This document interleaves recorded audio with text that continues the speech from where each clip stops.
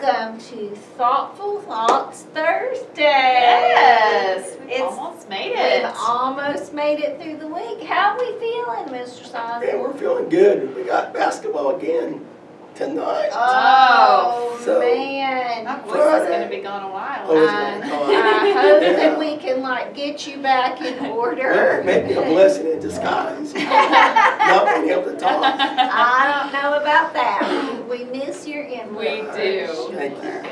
Well, today on Thoughtful Thursday, guys, I have my two wonderful and very thoughtful friends with me. I'm Miss Lindsay. Mr. Sizemore with CIS. And I am Miss Boswell, your school counselor. And today we are coming to you from Support You News. Now, today on Thoughtful Thursday, we have a couple of friends we'd like We to introduce. Miss Lindsay, would you like to introduce them? I them? would love to. Sounds On great. Thoughtful Thoughts Thursday, we have Callie and Skylin. Come on in, friends, Come and say good girls. morning. Can you say good morning to Stonewall Jackson? Good morning.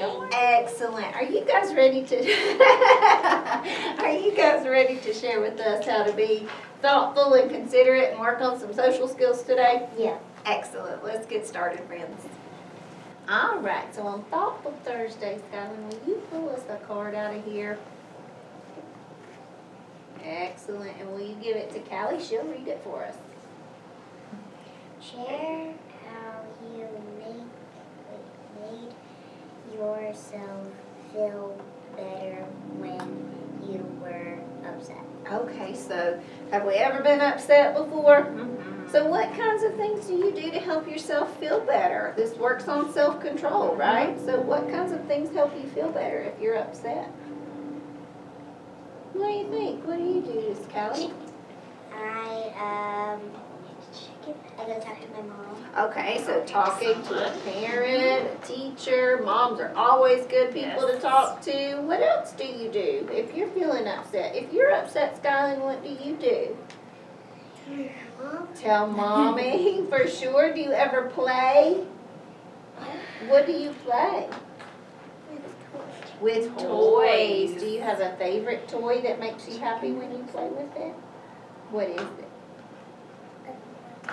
Oh, how fun. Miss Lindsay, what about you? What helps you if you're feeling upset and you I think for me, exercise is something that helps clear my head and maybe takes my mind off of the problem so that I can think about something else or think clearly about how to solve that Yeah, problem. for Or talking to someone that I love helps me too, sometimes to work through that and kind of find a solution, right? Sometimes Yeah. we have to talk about it out loud Yeah. to work through a solution. What about you? Absolutely. I, I'm thinking I'm very much on the same page with you, and sometimes I just need a nap. Like, Mhm. I'm cranky and I'm upset and I take things too personally because I am tired.